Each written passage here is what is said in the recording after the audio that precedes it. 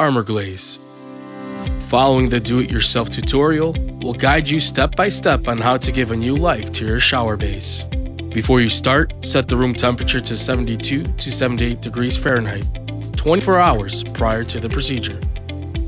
To get started, we will need a utility knife and razor blade scraper to remove sealant between tiles and shower base. Now take sandpaper grit 220 to remove remaining silicone. Remove drain piece and plug it in with a piece of cloth so the waste won't get in. Clear the area for the next step. In this step, we'll use sandpaper grit 220, a sponge, a bucket of water, and Ajax. Do not use shower head, just a bucket with water. Apply pressure when scrubbing to clean all stains and dirt. Some spots are harder to get dirt out from, so use a heavy duty brush. Rinse thoroughly and wash it again using sponge. Now we prepared a shower base for drying process. We will need hair dryer, isopropyl, and paper towel. Wipe it dry with paper towel and use hair dryer to get moisture out of hard to reach spots. Refer to a video.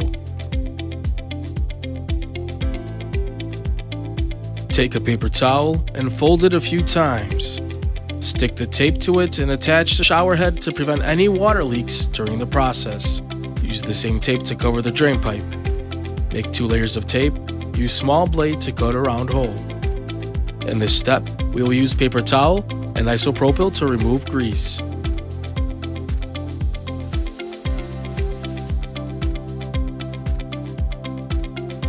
Use the comb provided in the toolkit and wrap it with tape so to expose 3 millimeters of teeth.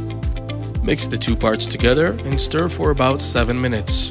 For a better blend, stir along the walls and the bottom of a bucket. Wipe the bottom of the bucket before placing it in the shower. Use a heat gun to rid of bubbles on the paint surface. Pour the paint into the cup. Now when pouring the paint from the cup, slide along the shower base slowly. In some parts you will notice gaps. Use a yellow plastic spatula to bring the paint up. Pour out the rest of the paint evenly around the shower base. Use the comb to spread it around. The paint will be collecting on top of the tape. Remove excess every 10 to 15 minutes. Watch closely for bubbles that appear. Use heat gun to eliminate them. In case some small particles did get in, use a small blade to remove it. Collecting the paint from the drain requires repetitive action.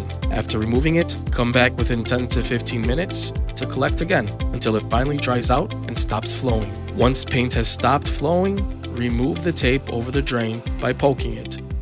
Gently take it out. Allow 24 to 36 hours for the paint to dry completely, depending on room temperature, which should be about 72 to 78 degrees Fahrenheit. ArmoGlaze. Enjoy the new look of your shower.